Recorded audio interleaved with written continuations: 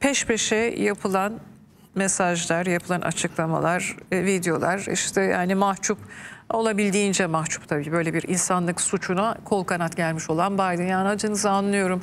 Ben de sessizce çalışıyorum sözleri. E, Blinken Orta Doğu e, turu yapan Blinken'ın e, yakınındaki bir kaynağın 2-3 hafta içinde bu savaş bitecek sözleri. Ee, ne diyorsunuz Erdoğan Paşam? Bunları da üst üste koyduğumuzda çok net bir tabii ki rehine, rehine aileleri üzerinde baskı var. Ee, bunu da iyi kullanıyor e, direniş cephesi. Ne dersiniz? E, şimdi tabii ki e, çok güzel kullanıyorlar. Ona hiçbir şey demiyorum. E, bu tabii savaş aynı zamanda bir propaganda. Yani mümkün olduğu kadarıyla bunu iyi kullanacaksınız ki e, önce e, halkları kendi lehinize çevirebilesiniz. Bu konuda e, Hamas'ın çalışmaları çok güzel gerçekten. Ama karşılarında söylüyorum. e, yani bu konuda e, şahıs olarak bir şey demem ama Netanyahu e, duracak gibi görünmüyor. E, ve Amerika Birleşik Devletleri'ni de dinlemiyor. Şimdi bir bunu fırsat olarak belirledi. En azından e, bir yerde Hizbullah'ın olsun. E, zaten Hamas'ın malumunuz liderlerini devamlı surette e, etkisiz kılma hareketi devam ediyor.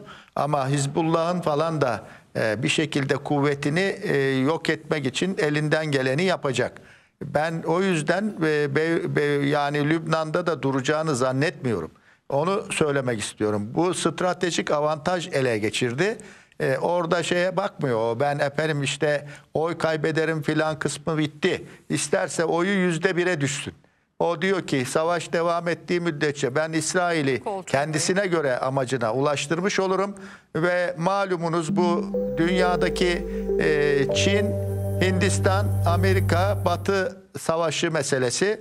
E, işte Hindistan yolunun açılması konusu birinci öncelikli. Çin'in e, bir şekilde yollarının kapatılması e, yine e, bir en önemli konu. Böyle olunca e, bu Gazze olayı burada yüzde bir oranındaki bir olay bu.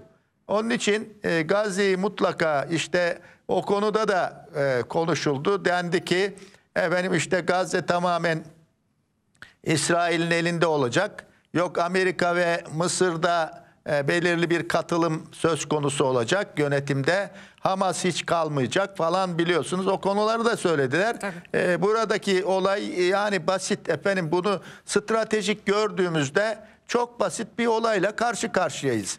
Hindistan yolu vasıtasıyla işte Hayfa limanına malların getirilmesi efendim e, e, yani Kızıldeniz'den e, Mısır'a efendim e, karşıt olacak şekilde Süveyş kanalının karşıtı bir kanal yapılması, e, Mısır'ı bir yerde güçsüz bırakmak, Türkiye'yi güçsüz bırakmak yani bu Irak kalkınma yolu vasıtasıyla onu da baltalayarak Türkiye'yi güçsüz bırakmak, Mısır'ı güçsüz bırakmak, İran'ı güçsüz bırakmak. Efendim e, Suudi Arabistan'da da e, bir yerde e, güçleneceğini zannediyor ama ne kadar güçlenecek onu göreceğiz.